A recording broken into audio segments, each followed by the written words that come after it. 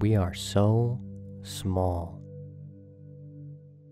Before we can truly grasp the gravity of the threats as well as the beauty that surrounds our planet, we must first realize just how small our planet is. The circumference of Earth at the equator is about 24,874 miles, and from the North Pole to the South Pole, it is about 24,860 miles.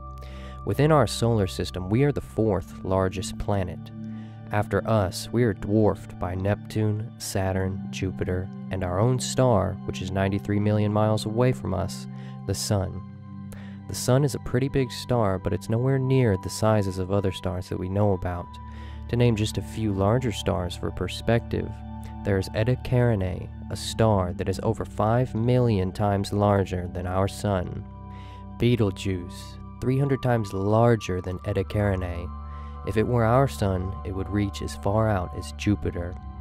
And then there's UY Scuti, the largest star that we know of. UY Scuti's mass is unknown, but before UY Scuti comes VY Canis Majoris, a star that is 5 billion times the size of our Sun. We are a part of the Milky Way galaxy. There are trillions of stars in our galaxy, and nearly all of them are circled by at least one planet. Within our Milky Way galaxy, we are not the only solar system. So far, astronomers have found more than 500 solar systems and are discovering new ones every year. Scientists estimate that there may be tens of billions of solar systems in our galaxy alone. Traveling out 150,000 light years, you can see just how small even stars like UY Scuti is within our galaxy.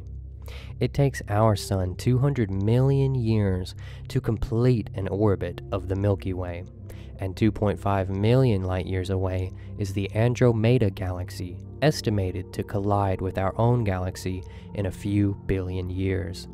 And using the Hubble Deep Field, or HDF, we can see a very small series of space and observations by the Hubble Space Telescope itself. It shows hundreds of galaxies, 5 billion light years out is the cosmic web, where billions and billions of galaxies are estimated to reside. And finally, 200 million light years out is the cosmic microwave background radiation afterglow, is what we believe that started us, the only thing estimated to be left of the Big Bang. That is our universe. What is beyond this? Other universes?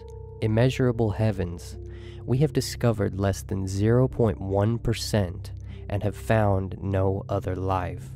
Are we all alone in this life, or are we in fact not alone? Either thought is terrifying. For now, all we know is that all injustices, political and religious existence theories or truths, all loves, sorrows, hopes, and dreams, extinct species like the dinosaurs, and species yet to come, all pasts, presents, futures, thoughts, and actions only exist on our small and insignificant planet alone. This sort of scale, you truly start to think about what truly matters to you, what doesn't matter anymore, and what never did. What do you think?